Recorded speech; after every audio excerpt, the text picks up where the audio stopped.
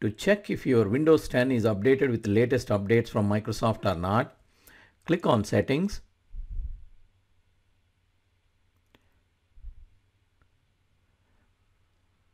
Scroll down, click on Update and Security.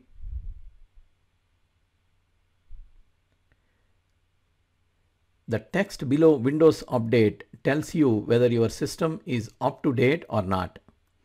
Windows Update checks daily to see new updates are available.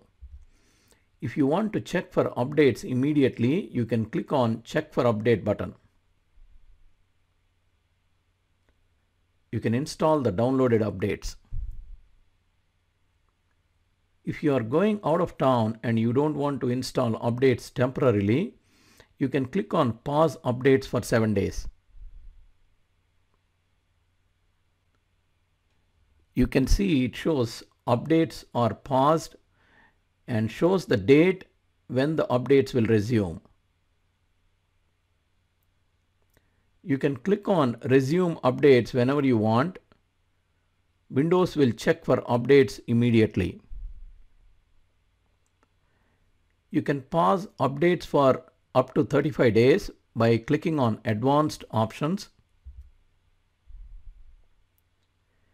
You can select the date until which you want to pause the updates.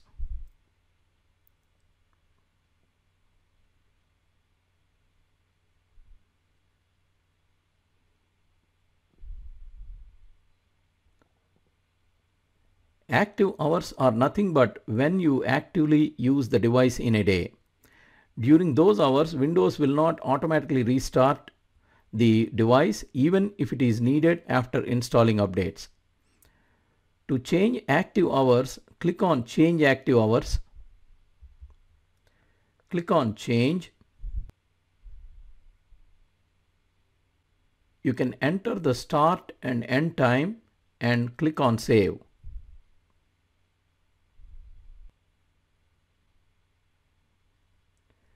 You can also select the option of Windows automatically adjusting the active hours based on the activity. Windows also recommends the activity hours based on the activity on the device.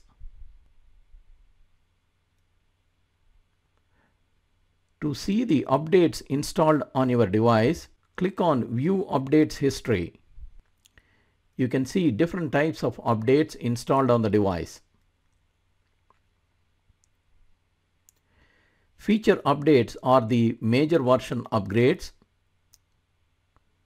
Quality updates are updates which will fix security and reliability issues.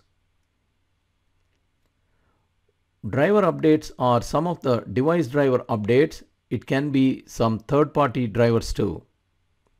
If you like this video, please subscribe to our channel.